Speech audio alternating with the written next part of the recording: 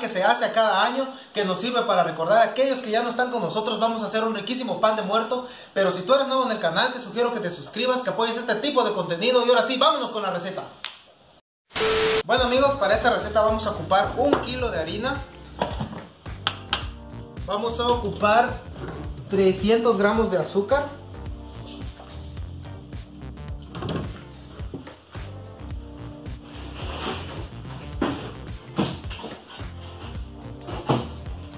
...300 gramos de azúcar... ...y vamos a ponerle 10 gramitos de sal... ...toda la olla... ...lo vamos a hacer a batidora... 300 gramos de mantequilla o de margarina. Vamos a ocupar 10 gramitos de mejorante para masa. Si tú no tienes ese mejorante, pues lo puedes este, omitir. Vamos a ponerle 15 gramos de levadura, de levadura seca. O 30 gramos de levadura fresca, ya dependiendo de cuál uses o cuál tengas a tu alcance. Le vamos a poner 5 huevitos o 10 yemas podemos usar 5 huevos o si tú quieres ponerle más sabor a tu pan le puedes poner 10 yemitas y aquí viene lo que le distingue al pan de muerto vamos a ocupar dos naranjas estas naranjas las vamos a rayar primero toda la, la cobertura toda la cáscara vamos a quitarle de la naranja de las dos vamos a rayar bien toda la naranja Bueno, vamos a terminar de rayar bien estas naranjas. Y ahí está. Ya tenemos la ralladura y esta va para nuestra olla. Ya saben, si no quieren hacerlo en batidora o si no tienen batidora pueden hacerlo a mano, así como hicimos el pan de yema. Les voy a dejar el link en la descripción del video para que vayan a ver cómo hicimos ese pan para que ustedes vean el proceso y más o menos se den una idea de cómo se trabaja el pan a mano. Vamos a sacarle las semillas bien a esta naranja para poder extraerle bien el jugo aquí en un, vaso. A extraerle bien el jugo. Si tienen un este, exprimidor, pues también pueden usarlo. Así, con cuidado de que no se vaya ninguna semilla. Bien. Esta receta va a llevar agua o si tienen leche también le pueden poner leche pero primero vamos a agregar el jugo y ya después vamos a ver qué tanta cantidad de agua o de leche le vamos a poner ¿por qué? porque hay algunas naranjas que son un poco más grandes que traen más jugo y otras que traen menos jugo vamos a quitarle bien las semillitas y vamos a quitar el, el jugo así las dos naranjas. Dos naranjas, si ustedes quieren más, pues más ponerle más sabor a la naranja, pues pueden ponerle la ralladura de otra naranja, solo la ralladura ya que el jugo puede aguadar un poco la mezcla. Vamos a destriparlo bien así. Se nos fue una semillita, ahorita se la vamos a extraer. Vamos a poner acá el jugo de las dos naranjas le vamos a quitar la semilla que se nos fue aquí. Y vamos a batir esta masa en batidora, más o menos 10 minutos, entre 10 y 15 minutos. No importa tanto el tiempo de batido, sino la textura que le vamos a dar a la masa. Eso se los voy a enseñar después de que ya haya quedado bien refinada esta masa. Les voy a enseñar la textura y más o menos el tiempo de batido, porque hay unas máquinas que lo hacen mucho más rápido, otras que lo hacen mucho más lento la masa. Como este es de un kilo, pues, pues le puede llevar más tiempo. Pero ahorita les muestro cómo debe de quedar el punto de ligado de la masa.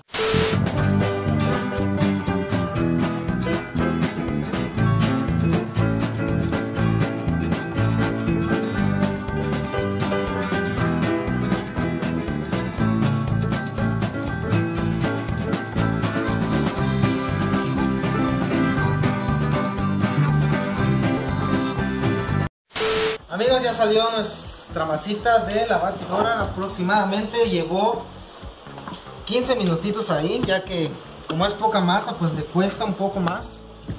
Es lo que les decía anteriormente, que es un poco más costoso. Bueno amigos, como les decía, así es que debe de quedarle esta masa, Les voy a enseñar el punto, ya sea a mano o a máquina, esta textura nos tiene que quedar. Esto nosotros le llamamos ligado o refinado, así debe de quedar la masa. Y ahora lo que vamos a hacer con esta masa que acaba de salir la batidora es apretarla un poquito antes de dejarla reposando. Pero vamos a agarrar un poco de esta misma masa. Bueno, vamos a apartar los 100 gramos de masa. Esto va a servirnos para hacer los, los huesitos. Y esta masa lo vamos a dejar acá, le vamos a poner tantito aceite. Le vamos a poner tantito aceite y lo vamos a dejar reposando durante 10 minutos que se suelte tantito y ahora sí vamos a hacer las yemitas. Bueno, ya tenemos la masa reposada, 10 minutitos desde que la hicimos este, bolita y vamos a empezar a hacer nuestras yemitas, lo que va a ser nuestro pan de muerto. Vamos a ponerlos así, ya en una charola que tenga papel enceradito. Vamos a ir este, boleando la masita. Uno por uno.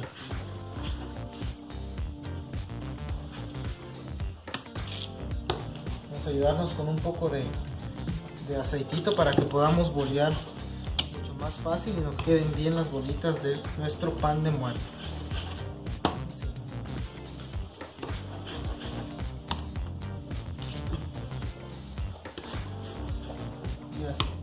Vamos a hacer unos más pequeñitos para que nos queden como miniaturita. Ya saben que aquí les enseñamos a hacer pura chulada de pan. Vamos a, hacer así.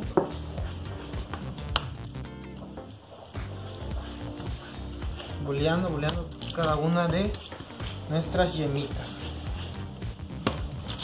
que todo vaya del mismo tamaño. Si no lo pueden hacer así lo pueden ir pesando una en una para que todos vayan del mismo tamaño. Y ahora vamos a agarrar un poco vamos a agarrar un poco de grasa vegetal y lo vamos a poner arriba así. Bien engrasadita todas nuestras bolitas. Bien bien, bien engrasaditas.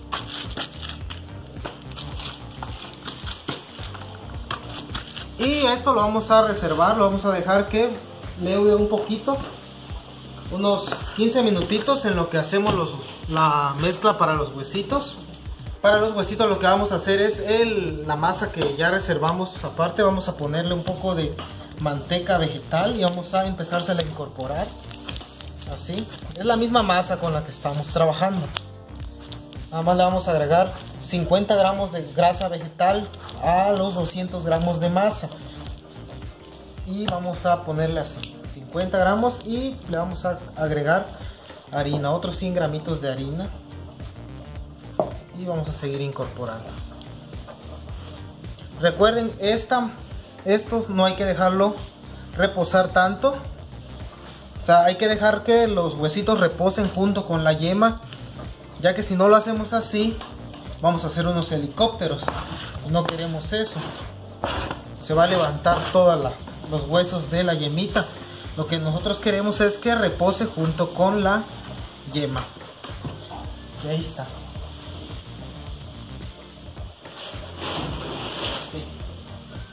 Vamos a ponerle la harina. 100 gramitos de harina para esta mezcla. Ya está. Vamos a sentir que nuestra masa se hace un poco más solidita, más más durita y esta es la con la que vamos a hacer nuestros huesitos. Vamos a agarrar así y vamos a dejar que esto repose durante 15 minutitos. Bueno amigos, ya pasaron los 15 minutos que les había dicho, vamos a hacer los huesitos y cómo se hacen los huesitos, vamos a agarrar parte de la masa que hicimos anteriormente y con ayuda de nuestra mano vamos a abrir los tres dedos así y le vamos a aplicar presión a cada uno de ellos. Y al pan. Obviamente al pan le vamos a dar ratito cuerpecito y le vamos a poner su huesito. Y repetimos el proceso. Agarramos así con la ayuda de los tres deditos y ponemos el huesito. Listo está bien bonito. Y vamos de nuevo con otro le vamos a poner su huesito a cada uno de ellos. Obviamente esta masa tiene que leudar también si no se levanta. No queremos que pase eso vamos a agarrar esto así. Así rápido. Le ponemos los huesitos a cada uno de ellos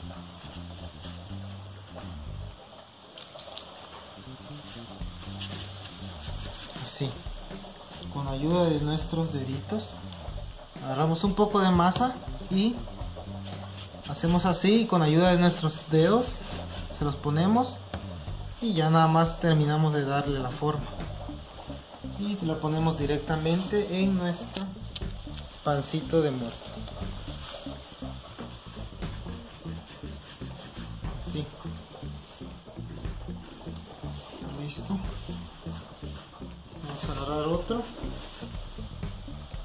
vamos poniendo al pan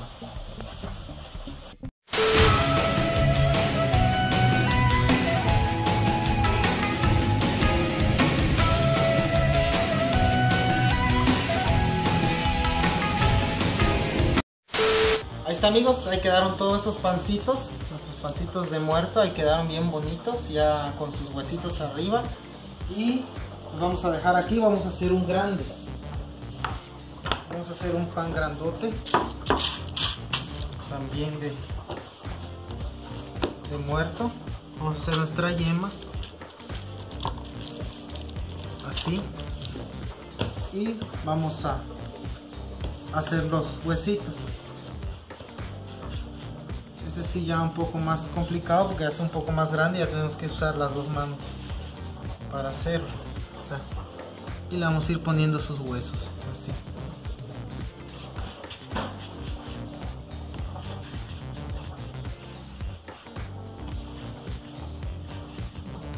Vamos a ir poniéndole sus huesitos. Ya saben que este lleva más huesos.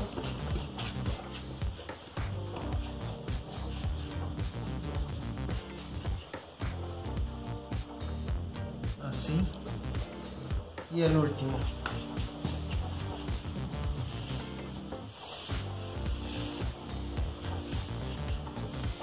este va a ir así les voy a dar un pequeño consejo este pan el que es más grande siempre lleva una pequeña bolita acá en medio ¿cómo le vamos a hacer eso? vamos a agarrar la bolita así vamos a agarrar un poco de harina y ahí, ahí va a quedar. Se va a quedar fermentando junto con todo el pan, el pan grande. ¿Por qué? Porque si nosotros lo ponemos ahorita, cuando este pan leude, la yema se va a caer. Entonces lo que vamos a hacer es cuando ya esté listo a meterlo al horno, le vamos a poner huevito, le ponemos la yema y lo metemos al horno. Bueno, pues este pan va a estar aproximadamente entre una hora hasta dos horas dependiendo del clima en el que ustedes estén fermentando. Lo vamos a tapar con un hilito para que no le caiga polvo, tierra, nada de eso. Que quede bien tapadito para que fermente también un poco más rápido. Y ahorita en que esté listo este pan les enseño el tiempo de horneado y cómo debe de estar ya llegado para meterlo al horno. Ya saben, si son nuevos en el canal, suscríbanse y compartan este tipo de contenido. Nos vemos dentro de dos horas cuando este pan ya esté listo para hornear. Amigos, ya está listo el pan de muerto. Duró aproximadamente hora y media. Duró un poquito más porque está haciendo un poco de frío aquí. Pero ahí está. No lo vamos a dejar que llegue mucho para que no nos salga tan blandito. Y nos salga un poco más este compactito y los sabores queden mucho mejor. Vamos a, barnizar unos con huevito. Porque vamos a poner un poquito de ajonjolí. Vamos a ponerles un poco de ajonjolí. Y y los demás los vamos a decorar así como se hacen con azúcar. Y les voy a dar un pequeño tip a la hora de decorar. Así que quédense para terminar de ver todo el video. Vamos a ponerle ajonjolí. Así.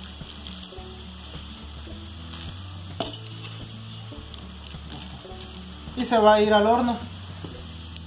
Se va a ir al horno aproximadamente este, 15 minutos, 150 grados. No muy caliente el horno para que no se nos reviente.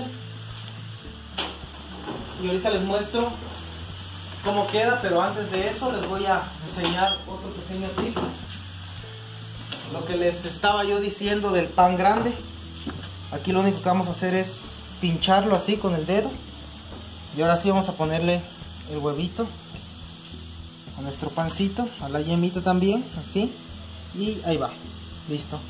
Y esto va, esto va a ayudarle que no se nos caiga o que no se nos deladee la yema del pan de muerto.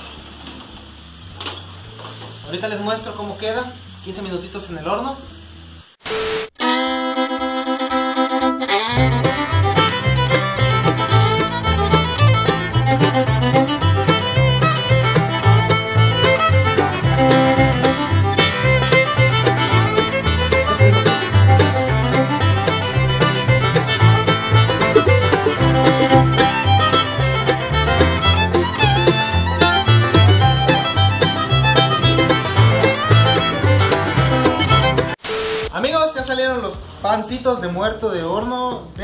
Vean cómo quedaron. Los que le pusimos a jonjolí y los que van a ir con el azúcar. Y ahorita lo que vamos a hacer es algo muy sencillo, vamos a ponerle mantequilla derretida. Así como lo están viendo. A los dos. Y también al grande. Vean cómo quedó de bonito, vean cómo la bolita queda bien en el centro, no se desparrama, no se cae ni nada de eso, queda bien bonito. Y este es un pan de muerto que no queda bojo, es un pan de muerto que queda bien, este, bien, este, durito, pero también bien, la miga queda con un sabor muy rico, no queda este, así suavecito, sino que queda más artesanal ya saben, así como lo que les enseño a hacer en el canal. Y vamos a dejar que seque tantita la mantequilla que le acabamos de poner y les voy a enseñar un pequeño tip. Van a agarrarle este es leche en polvo, medio kilo de azúcar y le vamos a poner 50 gramos de leche en polvo. Este va a ser un pequeño tip que les da el panadero con el pan. Vamos a agarrar leche en polvo y lo vamos a mezclar así. ¿Para qué nos sirve la leche en polvo en el azúcar? Una es para que no llore el azúcar tan rápido. Es para que le dé un sabor diferente.